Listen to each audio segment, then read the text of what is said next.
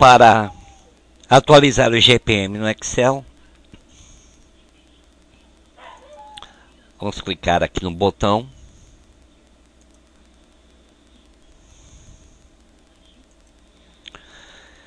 Nós vamos atualizar aqui o IGPM de maio. Se você clicar aqui nesse link, ele vai para um site que contém os índices da Fundação Getúlio Vargas. Tá vendo aqui nós temos aqui o mês de maio. E agora você precisa transcrever esses dados lá para a planilha. Então vamos voltar para a planilha. Bom, você vai procurar a próxima linha disponível. Você, vamos lá para a próxima linha disponível.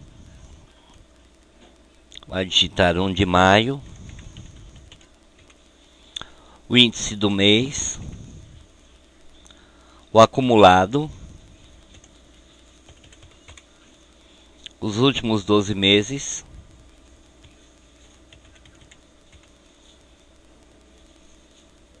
E o acumulado total.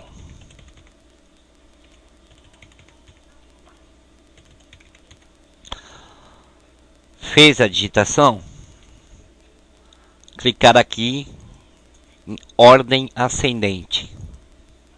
Pronto, está atualizado. Volta. Vamos gerar o carnê.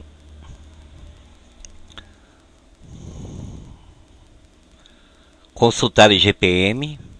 Ok, ó, já está o mês de maio. Ok. E como você já sabe, ele vai atualizar o valor pelo índice do mês de maio, ok?